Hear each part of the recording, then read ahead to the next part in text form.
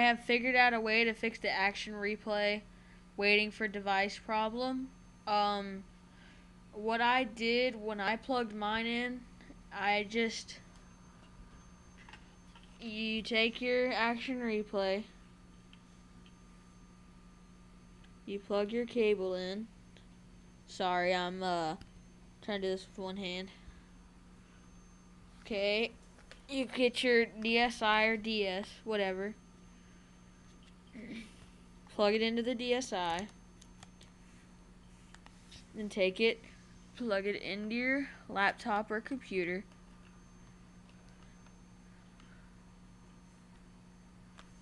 Make sure you have an in the installation installation disk. And go ahead when your action replay if it doesn't do nothing or it pops up. I went to control panel. View devices and printers. Okay.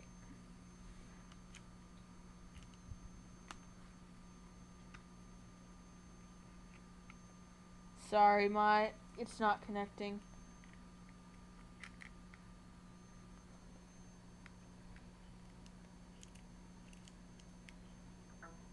Okay, here we go. Okay, it'll say unspecified.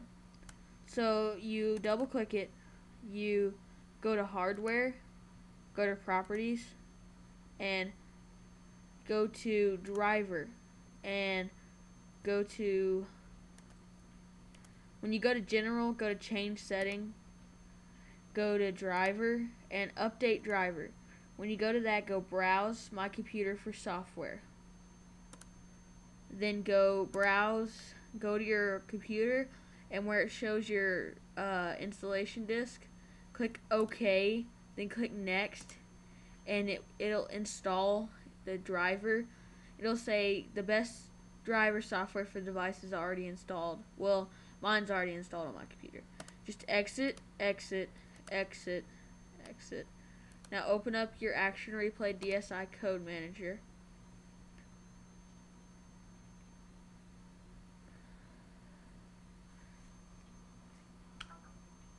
Usually works better if you're you unplug it then plug it back into it.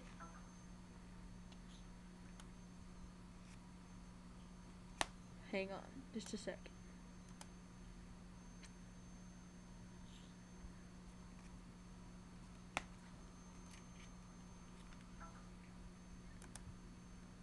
Okay, it's waiting for action replay card.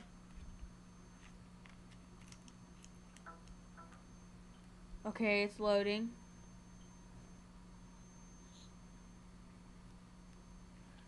Now all my games are on here.